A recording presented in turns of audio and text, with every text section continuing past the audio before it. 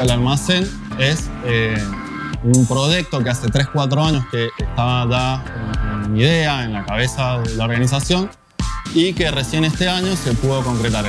La OST había tenido experiencias de comercialización, pero nunca había tenido, digamos, un punto propio en el centro de la ciudad eh, donde vender los productos propios y también, digamos, otros productos de la economía social.